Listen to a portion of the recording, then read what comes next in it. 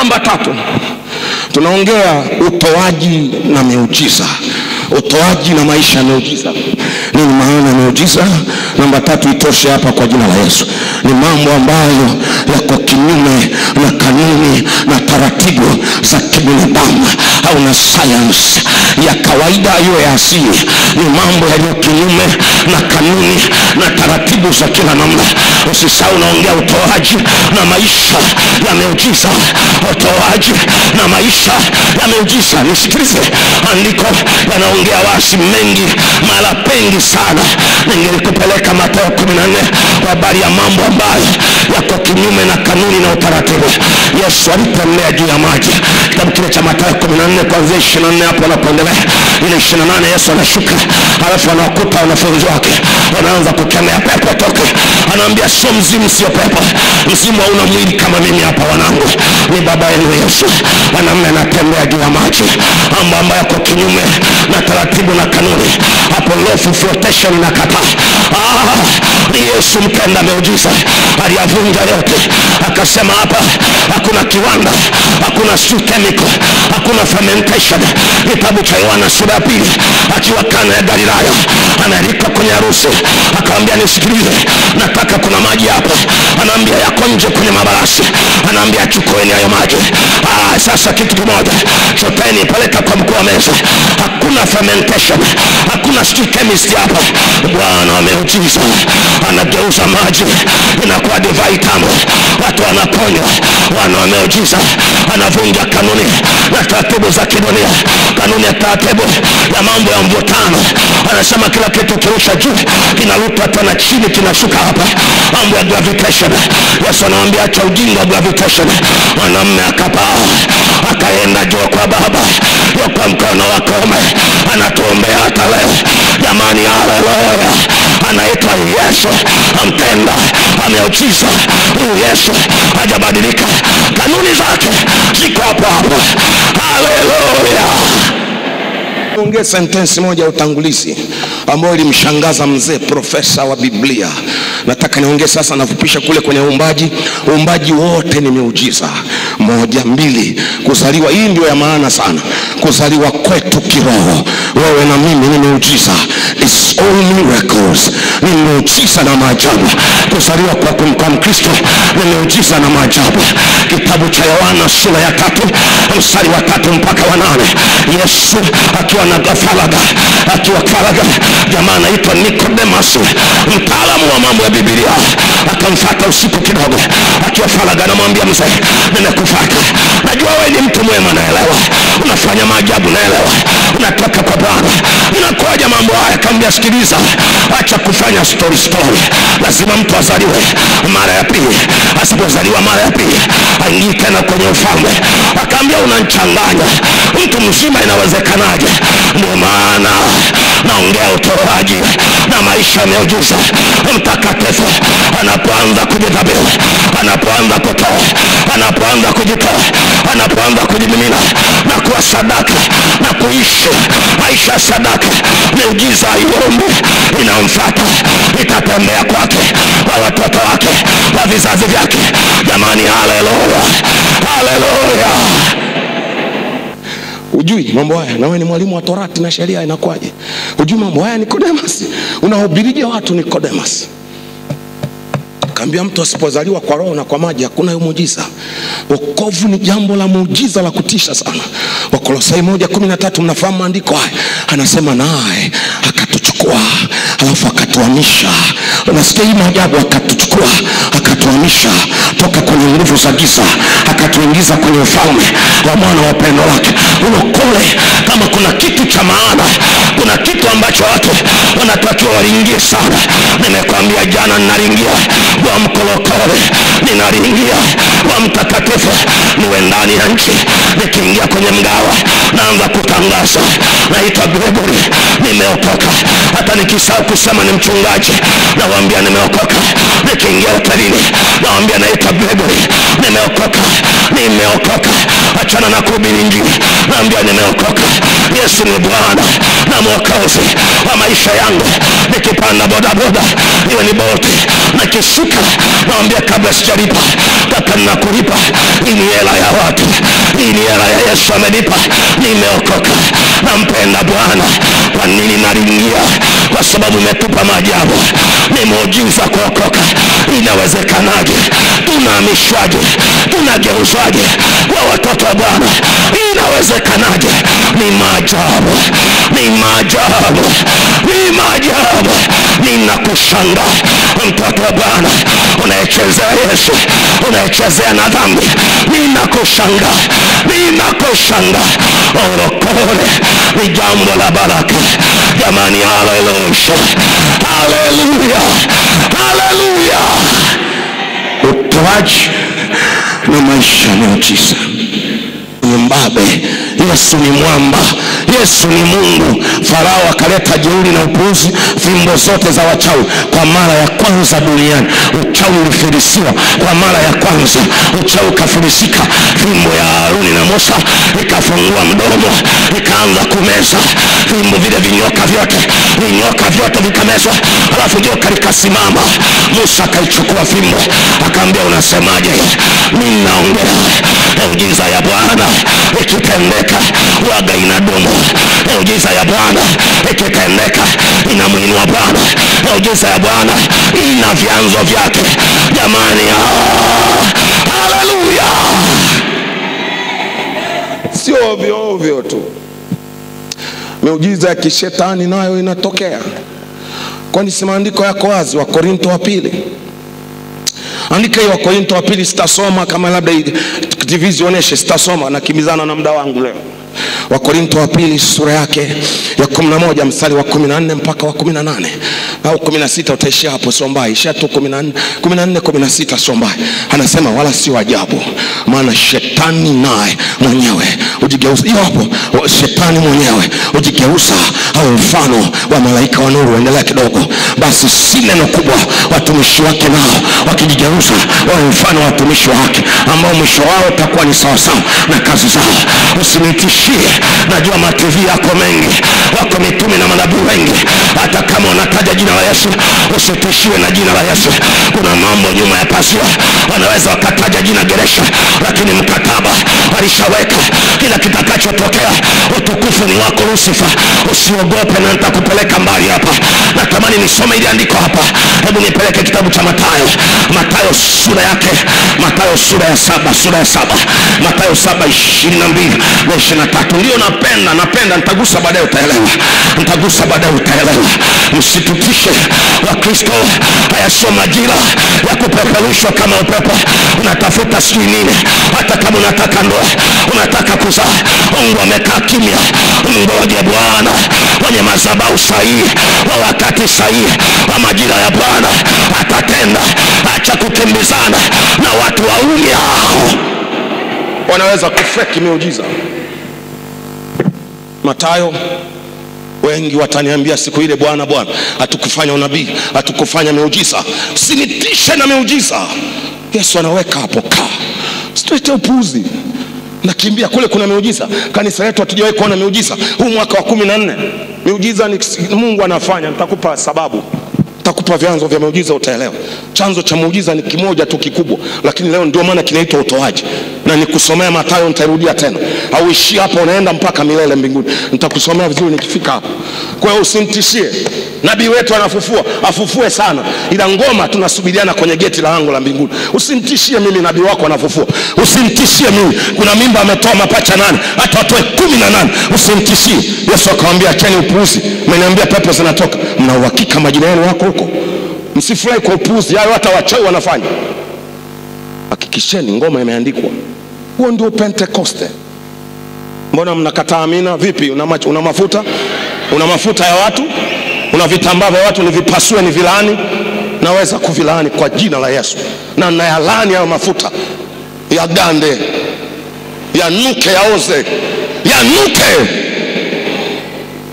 kama tunaweza kuita makata maimuna kakulalua tunaweza kuyagandisha upuuzi mafuta kitakataka ndogo namna hiyo. Ya yagande yaoze yatoe harufu ulionayo ukikaa kwenye basi aanze kukunukia waseme nani kabeba mzoga. Ukome utupe limpochi lako. Haya usiniuzi bado ngoma mapema sana ngoja. Haleluya haleluya. Sasa naomba niende vizuri. Itakiwa nikufundishe sasa vipi utoaji na maisha ya miujiza kabla sijafika hapo naomba niguse sasa. Maana nitakuwa baba mbaya. Maana miujiza ina vyanzo kama sita. Kabla sijafika kwenye utoaji ndio chanzo mama. Niguse kidogo haraka hapo sitakaa. Andika vyanzo vya miujiza. Sitakaa sana hapo maana sio pa maana. Nataka nifike kwenye kiini cha utoaji na maisha ya miujiza. Kiini peke yake ambacho akitabadilika duniani mpaka mbinguni. Ma yesu anawaambia atawaambia karibuni wanangu amnyewa je kondoo sio mbuzi? Mlinilisha mlininywesha mlifanya utoaji. Nitafika hapo uelewe. Chanzo namba moja hiki sio cha kwako wala cha kujidai ni utukufu wa mungu. Mungu anaponyaga miujiza anaweza akatoa mtu akazaa mapacha ishirini. Ni kwa utukufu andika chanzo namba moja ni kwa utukufu just for his own glory. There is nothing we can do the preachers. Amna kujisifia kwa utukufu wake. Mungu anafanya kwa utukufu wake. Hitaji wewe umefunga nane kavu. Bwana wahubiri wenzangu si mnajua sio yote mara zote. Wakati mwingine tunasimama hapa mwenyewe ameujiza anafanya mpaka tunaogopa. Sio kwa sababu tulifunga tano kavu sio kweli. Kuna mambo anafanya yesu kwa utukufu wake. Kitabu cha yohana sura ya pili mstari wa kumi na moja kwenye kana ya galilaya alivyogeuza divai huyu anasema huko ndiko alifunua utukufu wake wote. Tupeleke hapo kidogo siwezi kukaa. Kuna miujiza mungu atafanya hii haina chochote. Uwe mkristo usiwe mkristo. Wale watu wa kana ya galilaya wakuwa wakristo wala wapagani. Usiwe mapagani wapi walimwalika yesu. Hawakuwa wameokoka. Hawakuwa wananena. Usimtishie yesu akatenda muujiza. Mimaji kageuka divai. Wala wakumjua yesu kakaa wapi. Maajabu sana. Yule mjamaa ana adabu. Nikikutana naye mbinguni kama ikitokea aliwaa ameokoka atatambua. Naambia una adabu wewe ulienda kabajeti kako ka elfu nane alafu imeisha unaingia azalau kuna mtu anakunusuru ulisi huyu ni nani? Wewe bajeti yako ilikuwa inaweza kupiga raundi ya mbili lani pepa 2 pepa 3 wamekula buffet ngoma imeisha unashangaa ngoma inaendelea. Wana, la, pepa tu watu wanakula. Unacheka yani mambo yangu una mambo wewe? Hii ni kwa utukufu wa mungu just for the sake of his own glory. Haleluya usije ukajisifu tena nachukia tena wale wadada. Wadada mnisamee leo nimeamka na nyie. Kuna wadada tu hata wamama tunakuambia umependeza sana. Hata wakaka wapo. Ambia umependeza hiyo kaunda mkaka. Eti eh? hata bodi yangu najua. Mimi nina slim fit. Wewe una adabu wewe una slim fit ya, ya mjomba wako ya babako mwambie mungu asante kwa utukufu wa mungu. Tunawambiaga binti zetu mwanangu hako ulivyo kaumbo kako na vimacho hivyo jamani. Umetoka we mtoto umetoka. Nako kagauni keupe na umejiunga na adabu. Umetoka mtoto wetu. Na umbo linachangia. Una adabu wewe uvunjike kiuno wewe na bodaboda. Au ukiwa una nilikuwa wapi? Hivi nilikuwa wapi tena kwenye huduma? Juzi juzi hapa. Kabinti kamoja nikaambia wewe unahitaji kuokoka? Nikwambia staila yangu ya kwanza nikiingia hotelini kama sina mke wangu najitambulisha naitwa gregory nimeokoka. Nimejaa roho kabisa. Upuzi na usinzi upumbavu ushetani sifanyi. Nawambia live pale reception ili nilinde. Kwa nini nilinde? Nataka mbingu mimi. Siwezi kupotezwa na starehe za daka nane. Mi upuzi huo nataka sasa nikakutana nako kadada kwenye hoteli moja sitaki nihitaji nikamwambia habari za yesu. Yani yesu yani yesu. Nikamwambia wewe basi nilikuwa sikutaka hata kuongea neno baya. Nikamwambia wewe nikupasue miguu yako. Lakini baada ya dakika kumi hivi napiga rushwa, niletee pasi ninyoshe, nakuja kanachechemea kana kamekongoloka kabisa. Kaambia nini? Kule bafuni nikaambia una adabu huyo alikuwa maimuna sijui makata. Na hapo sijakuombea wewe mtoto mimi sijakuombea vurugu. Kapigwa bafuni chooni anambia mguu uliingia kabisa kwenye shimo. Nikaambia una bahati. Lingekuwa kubwa ulikuwa unakufa wewe. Unasemaje kuhusu yesu? Ah, yani nikaambia una bahati si kwa nini unaishi bado? Bado wanadiskasi nasema hivi chanzo cha kwanza ni kwa utukufu wa mungu aliye hai umejenga nyumba nzuri tukikwambia nyumba yako nzuri tunakuja kupigia harusi hapo picha. E, na, unajua yani ni plani ni plani? Utakufa ukiwa uliplani. Ndio maana watu wanakufa wajafaidi nyumba zao. Wanakufa wanatoka kwenye interview mshahara wa kwanza anakufa. Naambia ongera ile kazi tam nono hivi ilikuwaje? Ah, unajua yani, yani basi of course nilijiandaa sana. Afu, si unajua mi kichwa mshahara mmoja unagongwa na treni unakufa mshahara mingine wanakula bibi zako huko kaburini. Usiguse sikiliza. Kitabu cha matendo kumi na mbili naomba niende kidogo hapo nifungulie matendo kumi na mbili ishirini naona. Nazeka. Weka ishirini mpaka ishiri na tatu. Potelea mbali herode akiwa kwenye ubora wake anaongea. Wakati anaongea herode watu wakasema ai huyu ni mungu anaongea sio mwanadamu. Yule mpuzi akurudisha utukufu kwa mungu. Hiyo hapo herode. Biblia inasema malaika akashuka akam, akampiga kwa chango akafa kwambia ongera kwa gari zuri. Yaani hiyo ni zero kilomita zero kilomita tumekwambia ongera kwa gari zuri. Wewe ulizaliwa na gari? Mwambie namshukuru yesu anayejua kuinua wanyonge. Baba utukuzwe. Si tumelogwa na nini? Hebu ni, niwache kwanza. Chanzo cha pili ni sawa? Chanzo cha pili nimekwambia hapa tusikae sana. Chanzo cha pili kwa jina la yesu aliye hai. Chanzo cha pili ni huruma za bwana. Hapo napo sijisifie. Si ni huruma kwani zako? Kwa huruma za bwana kitabu cha luka sura ya saba mstari wa kumi na moja unaweza kusoma mpaka wa kumi na tano sio mbaya. Si unajua hapo eh? wakati yesu anatoka kwenye lango la mji ile maiti inapelekwa kuzikwa na yesu anaingia ndani. Wanakutana. Ni mwana wa pekee wa mwanamke mjane na mwana wa pekee wa mungu baba aliye hai. Kwa mwana wa pekee na mwana wa pekee. Mwana wa pekee aliye hai na mwana wa pekee aliye maiti zinakutana katikati. Akasema wote ni mwana wa pekee. Ila mama mjane yuko wapi akamfata? Mama analia akamwambia mama usilie. Akasema hiyo neno nimeambiwa tangia msiba unaanza tokea mpaka sasa. Kwa usinitishie na kulia alikuwa mjui yesu. Mama hajajalo kwa nini wewe usitendewe miujiza? Miujiza ni chakula cha watoto. Kama alivyo samaki ndani ya maji ndio anatakiwa alivyo mkristo mtoaji na miujiza. Haleluya. Sasa namba mbili ni kwa huruma za bwana. Yesu akamwonea huruma. Akaenda akaligusa jeneza likaa mtoto akaamka akamkabidhi mama yake kitabu cha maombolezo tatu ishirini na mbili ishirini na tatu. Ni kwa huruma za bwana tuangamii maana ni mpya kila siku inaitwa leo. Hapo siwezi kukaa sana. Kuna mahali nataka nikupeleke jioni ya leo. Kwa hiyo huruma za bwana. Nisikilize mungu anakuonea huruma. Hata kama we hujauionee huruma damu yake anatuonea huruma. Ni kwa huruma za baba tuko hapa tunaishi leo. Hata kama una huruma na damu yake yeye anakuonea huruma na ndio maana kuna kunataka nafanya hitimisho namba tatu nataka nifanye hitimisho sehemu fulani hivi nataka nifanye. Chanzo kingine cha miujiza chanzo kingine cha miujiza ni maisha ya kumtumikia yani kumtumikia mungu. Tunaita utumishi. Si unajua? Utumishi. Biblia inasema kwenye kitabu cha marko sura ya 16 mstari wa 16 mpaka wa 18 au anzia 17 marko 16 17 mpaka 18 anasema na ishara hizi zitafuatana nao hao waaminio. Tena hata sio wachungaji. Wala tusiwatishie washirika ilitakiwa washirika ndio mnakimbizana na maujiza. si tumekaa tunachukua ripoti hapa. Wangapi wamefufuka? Ehe, uko nani anaokoma amepona? Ehe, nini tena? Kansa ngapi zimerushwa kwa jina la yesu? Tutakiwa sisi washirika mnatuletea na hao ishara hizi zitafuatana na hao waaminio. Amina. Amina. Sasa hapa nimeweka angalizo. Nimeweka angalizo lile nililisoma pale kwenye kitabu cha matayo utumishi utafanya miujiza lakini sikiliza niongee hichi kitu cha maana sana. Utumishi wako sio chochote sio lolote kwa kuingia kwako kwa mungu wala mungu kukubariki maisha yako. Naomba niongee hapa maana kuna watu wanajali utumishi na huduma wao na huduma zao kuliko mahusiano yao na yesu. Ndio nataka nifike pale mwishoni. Mungu ajali sana huduma yako ajali sana eti gregory anahubiri. Hicho mungu atishiwi hata wachawi wanahubiri nitaongea mzee uliuaga sasa ile umeiacha. Tunaita maisha nyuma ya madhabahu. Hiyo ndio yesu anatishiwa. Ubiri kwangu hapa. Kwani wahubiri wangapi wanahubiri? Kwanza mi nahubiri. Mi sina bipo hapa.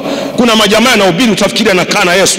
Lakini baada ya hapa akirudi hotelini yanalala na wanawake. Ma, ma, ni mazinzi. Matapeli makubwa kwa usitutishie kuhubiri. Naongea na wahubiri wenzangu duniani kote. Usitutishie kutumika. Naongea na waimbaji. Msitutishie kuimba. Wala hicho sio tiketi ya kwenda kwa bwana. Na wote wenye huduma mbalimbali hata kama bwana atafanya ishara na maajabu kama maisha yako ni mabaya ole wako kwa jina la yesu aliye hai. Na makata paulo anasema ole wangu naogopa mungu nisiwe kuhubiri wengine nikawa kukataliwa. Staki hiyo mimi mimi akiyakoroga siubiri siubiri naweza nikaja tu hapa nikivurugana na mshirika vyovyote akili zikawa zimetibuka tu. Mi nimewambia wa, wasaidizi wetu pale wachungaji wenza nimewambia na wazee wangu mkae standby muda wowote. Naweza dakika mbili mimi wa kuabudu naanza nikakupiga nikaambia unahubiri neno. Kikaa na mimi ndio kosa la maisha nakwambia nahubiri mpaka saizi alafu nikiona kuna vitu haviko sawa. Haya mchungaji beba bilia naambia acha za kwangu twende na zako utahubiri leo. Baba utaniua. Niliwaambia hiyo neno bado sijamsurprise mtu na kitu kizito. Ila wale wanangu makomando nimewasurprise. Mmoja nishampigia usiku wa manane. Kesho nasimama baba maandalizi. Nikaambia kwani wewe ndio injili? Biblia yako. Kuna neno mungu atakupa utuhudumia acha mbwembwe naamini kwenye maandalizi biblia inasema kuwa tayari wakati unaofaa na wakati usiofaa. Amina. Amina. Sawa. Namba nne chanzo cha nne niguse kidogo alafu niweke pause. Niingie kwenye somo la leo. Utoaji na miujiza. Utoaji na miujiza. Utoaji na miujiza. Utoaji na miujiza. Sasa kabla sijafika hapo chanzo kingine cha miujiza kitakusaidia hiki. Usitishie watu sana wewe. Ehe, kingine imani sawa? Imani sasa hapo imani ni chanzo cha miujiza. Ongera uliye na imani. Sikuvunji moyo unayetumika na nini. Endelea. Ila kwa maangalizo. Jamani haleluya. Haleluya. Haleluya. Chanzo kingine imani. Napenda ili andiko nipeleke haraka sana. Chanzo nafu nataka ili ninapohitimisha unielewe. Kitabu cha matayo 15 22 mpaka 28 hiyo habari naomba nifupishe wewe isome hapa. Usome, angalia. Okay naomba angalia vitu hivi vitatu. Vyote vinagoma. Angalia vitu hivi. Angalia vitu hivyo vinagoma. Unaona? Mwanamke mkananayo. Huyu ni mkanani sio mwebrania. Mwanamke mkananayo amepaka anayetokea huko. Sawa akampazia bwana sauti akisema unirehemu. Si ndio zile huruma za bwana? Unirehemu. Unirehemu mwana wa daudi. Binti yangu amepagawa na pepo. Endelea kidogo wala yeye akujibu neno. Kuna wakati rehema na huruma za bwana zinakoma. Unanielewa unagoma kuitika? Sasa mimi nataka vyanzo hivi vitatu. Ya kutoa yopote na mbali. Hakuna nitakwambia. Hakuna nitakwambia. Kuna watu watajificha kwenye hivi nitakwambia acha nihitimishe. Huyo mwanamke akaita nipeleke pale. Yesu akujibu neno anapiga kelele. Ni rehemu baba huruma zako. Chanzo kingine nakijua ni huruma. Baba huruma nihurumie. Rehemu. Jamaa kakausha wanafunzi tena wanavyojua kuchochea mambo anatupigia kelele aondoke. Twende mstari unaofuata. Ehe. akajibu akasema yule mwanamke anakaza nampenda yule mwanamke anajua kukomaa akasema aka, akajibu akasema sikutumwa ila kwa kondoo waliopotea nyumba ya israeli. Maana yake wewe sio mwisraeli ni mkanani. Achana na mimi bwana. Wewe sio mwebrania unanitafuta nini mwanamke? Angalia. Naye akaja akamsujudia. Unaona anaenda hatua ya, ya, zaidi anatoa ibada. Ibada ni sadaka kusujudu ni sadaka hii ni ibada. Akasujudu umegoma rehema baba chanzo kimekataa. Ikatae na ibada yangu. Kataa na ibada. Maana ibada hapo ametoa moyo ameenda mbali. Rehema unataka tu kulopoka. Ibada anatoa moyo anatoa nafsi. Anaambia leo mimi ni mkanani nimechagua kukufata anasujudu. Umeanza kuona alipomchekecha alipo, alipomchekecha yesu hapo naomba unisaidie akampa ibada. Ibada haijawahi kukataliwa hata kidogo kama ni ya kweli. Akajibu akasema si vema kukitoa chakula cha watoto kuwatupia mbwa. Akiwa anampa ibada amesujudu bado. Anamwambia wewe sikiliza. Wewe umetukanwa umekutukanwa kwenye kanisa hili. Yesu anamwambia mbwa wewe. We mbwa hiki chakula we, we mbwa. Hiki chakula cha watoto. Miujiza uponyaji ni chakula cha watoto. Wewe si mtoto wa yesu? Anaambia we mbwa mwanamke anasema najua yesu huwezi kukataa ibada. Na hata mbwa wanachukulaga makombo. Yesu kasema hii ngoma kali umenipa ibada sadaka nimepokea. Sijawahi kuona imani kubwa kama hii. Si ndio maandiko yanamalizia